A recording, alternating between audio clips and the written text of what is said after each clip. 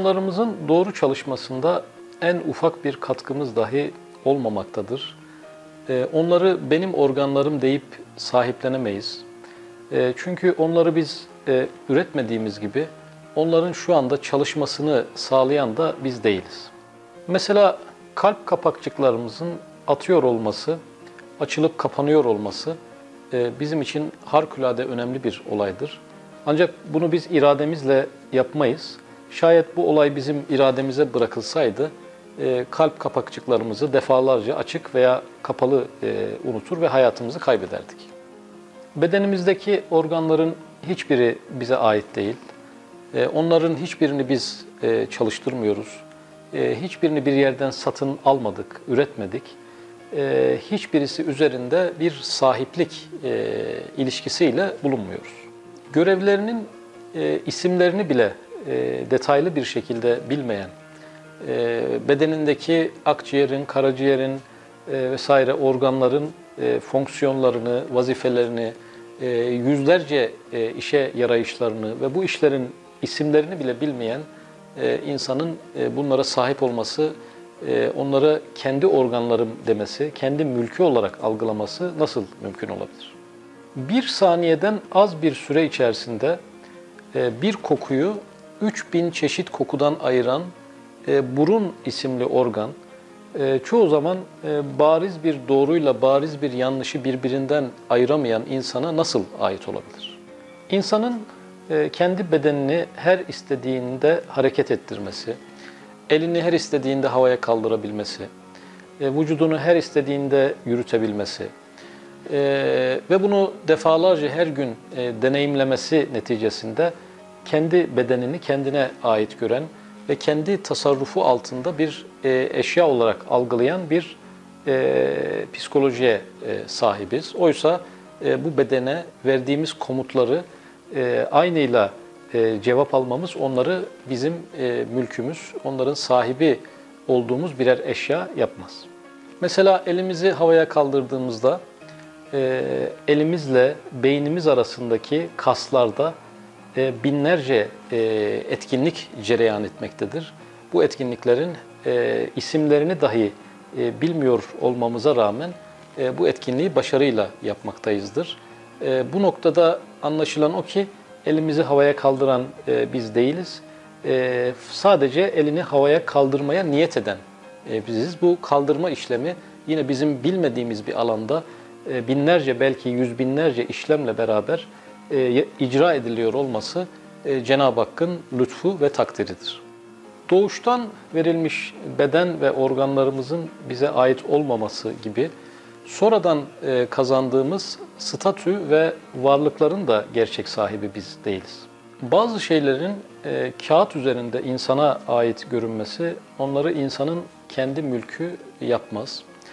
E, bankadaki paranın e, izafi bir varlığı vardır e, kişinin bankada bulunan e, bir fiziksel para olarak bile değil, e, bir bilgi işlem datasından e, ibaret olan bir varlığa sadece elinde ona sahip olduğuna dair bir kağıt olduğundan dolayı sahip olduğu düşünülemez. Temelde üç tane tevhid türünden ve yine bu üç noktada şirke düşülebileceğinden bahsedilir. Ee, birisi Cenab-ı Hakk'a rububiyetinde şirk koşmak.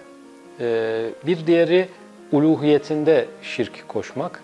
Ee, üçüncüsü de mülkünde e, şirk koşmaktır. Bu üç e, Allah'a ortak koşma şeklinden en yaygın olanı Cenab-ı Hakk'a mülkünde ortak ve eş koşmaktır. İnsan kendi bedeni dahil herhangi bir şeyi sahiplendiğinde e, Cenab-ı Hakk'a aslında mülkünde ortak koşmuş olur. Bunun sebebi şudur. E, Cenab-ı Hak karşısında varlıklar küçük veya büyük e, şeklinde ayrımlara sahip olmadığı için kainat içerisinde küçük bir şeyi sahiplenmekle çok büyük bir şeyi sahiplenmek arasında bir fark yoktur. E, bir çakıl taşına benim demekle e, Samanyolu galaksisine, e, Vega burcuna benim demek arasında hiçbir fark olmayacaktır. Çünkü kavramsal olarak e, aynı e, düşünceyi içermektedirler. Dolayısıyla insan e, kendi etrafında bulunan, kendisine emanet olarak verilmiş herhangi bir eşyayı sahiplenip benim diye düşündüğü anda e, Cenab-ı Hak'la mülk noktasında bir ortaklığa girişmiş olur. Buna işte mülkünde Cenab-ı Hakk'a e, şirk koşmak ve bunu yapmamaya da e, Cenab-ı Hakk'ı mülkü bakımından e, tevhid etmek e, şeklinde ifade edilir. Ailesini, çocuklarını, arabasını, makamını, evini gerçekten kendisine ait olarak gören bir insan bir şey aynı anda iki varlığa birden ait olmayacağına göre Cenab-ı Hakk'ın umumi mülkünden bir parçayı kendi hususi mülküne almış olmaktadır. E, bu da küçük ve büyük ilişkisi e, ile kainata bakmayan, e, her şey karşısında sonsuz büyüklüğe sahip olan Rabbimizin mülkünden e, bir şeyi kendisine e, atfetmekle insan e, Cenab-ı Hakk'ın umumi mülkünü kendisine ait e, görmek kadar büyük bir hata içerisine düşmüş olur. Hiçbir nimet e, insanın kendisine ait değildir. Dolayısıyla e, nimetin kaybı anlamına gelen e, hiçbir e, musibet insanın kendi mülküne dair bir kayıp değildir. Cenab-ı Hak kendisine ait olan bir mülkten e, emaneten verdiği insandan bir parçasını geri almakla e, aslında insanın bir şeyini almış olmaz. Dolayısıyla insan neyi kaybederse kaybetsin e, aslında başına bu manada e, bir musibet gelmiş sayılmaz. Mülkün sahibi e, mülkünde dilediği gibi tasarruf eder. Kendi mülkünde dilediği kararlara e, imza atar e, ve kendi mülkünü istediği şekilde istihdam eder. Sokrates'e niçin kederlenmiyorsun diye sorarlar. Sokrates şöyle bir cevap verir. Kaybettiğimde beni kederlendirecek şeyler edinmiyorum. Aslında bir mümin bu cevabı biraz daha ileriye taşıyabilir e, ve şöyle diyebilir. Hiçbir şeyin bana ait e, olmadığını bildiğimden dolayı e, neyi kaybedersem kaybedeyim e, bu konuda üzüntüye düşmüyorum. Büyük bir alim aynı zamanda başarılı bir tüccar olan, on binlerce talebesinin bütün masraflarını da diğer yandan üstlenmiş olan İmam Ebu Hanife Hazretleri bir gün ders esnasındayken e, kendisine bir haber verilir. E, kumaş yüklü gemileriniz yandı e, denir. E, Ebu Hanife Hazretleri hiç tereddüt etmeden e, elhamdülillah e, der. E, belli bir süre geçtikten sonra bu haberi veren kişi tekrar gelir ve haberin yanlış olduğundan yola çıkarak e, az önce bahsettiğim yanan gemiler sizin değilmiş şeklinde bir yeni bir haber verir. E, Ebu Hanife Hazretleri tekrar elhamdülillah der. E, talebeleri merak ederek e, sorarlar her iki duruma da elhamdülillah demesinin sebebi nedir diye. Ebu Hanife Hazretleri şöyle buyurur. E, ilkinde yanan gemiler senindi dendiğinde e, kalbimde herhangi bir üzüntü hissetmediğim için e, Allah'a hamd ettim. E, elhamdülillah dedim. İkincisinde yanan gemilerin bana ait olmadığı bilgisi geldiğinde e, kalbimde bir sevinç hissetmedim. E, kalbimi bu her iki halde de aynı tutan e, Rabbime şükrettim, hamd ettim diye cevap verir. İşte insan sahibi olduğu düşündüğü şeylerle e, belli bir mesafede durmalı. Onları kendisiyle özdeşleştirmemeli ve kader gelip onları aldığı zaman bu rahatlıkla onları almasını seyredebilmelidir.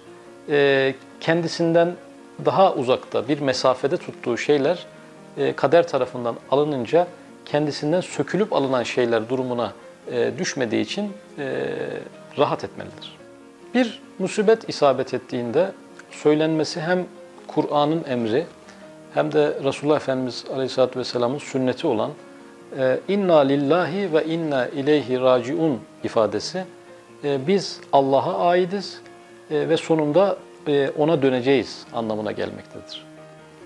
Bu ifade biraz daha açıldığında biz Allah'a aitiz, bizi yaratan O'dur, yaşatan O'dur, kabiliyetlerimizi, hislerimizi, duygularımızı, düşüncelerimizi yaratan O'dur, bedenimiz dahil, sahibi olduğumuz şeyler dahil, e, belli bir statü kazanmışsak o dahil tamamen e, Cenab-ı Hakk'a e, aittir. E, kendi varlığımızla, duygu ve düşüncelerimizle Allah'a ait bir varlık olduğumuzu bir musibet gelip çattığında hemen e, hatırlamalıyız. Dolayısıyla inna lillahi ve inna ileyhi raciun ifadesiyle e, başımıza bir musibet geldiğinde acı çeken benliğimizin de e, kaybettiğimiz o şeylerin de Cenab-ı Hakk'a ait olduklarını hatırlayarak ferahlamalıyız. İnna lillahi ve inna ileyhi raciun ifadesiyle canımız, bedenimiz ve malımız Allah'a aittir. E, Allah'a ait olan bu şeyler üzerindeki tasarruf yetkisi tamamen o mülkün sahibi olan Cenab-ı Hakk'a aittir. Dolayısıyla hayatımızdaki e, varlıkların ve kendimizin üzerindeki bütün tasarruflarda yetki sahibi olan Cenab-ı Hak'tır. Dolayısıyla başımıza gelmiş herhangi bir şeyden dolayı Cenab-ı Hakk'a itiraz caiz değildir. Çünkü e, her ne olmuşsa olsun e, tasarruf sahibi olan zat kendi mülkü üzerinde tasarruf etmiştir. Bir başkasının mülkü üzerinde e, yaptığı bir tasarruf değildir bu. Şekva ve şikayet hakların zayi olmasından ileri gelir. E, bu anlamda insana ait bir varlık ve hak e, yoktur ki onun kaybından dolayı bir e, itiraz söz konusu olabilsin. E, kaybedilen ve yitirilen bütün e, malların, varlıkların ve hakların sahibi Cenab-ı Hak olduğu için e, bu manada insanın kaybettiği herhangi gerçek bir durum söz konusu değildir.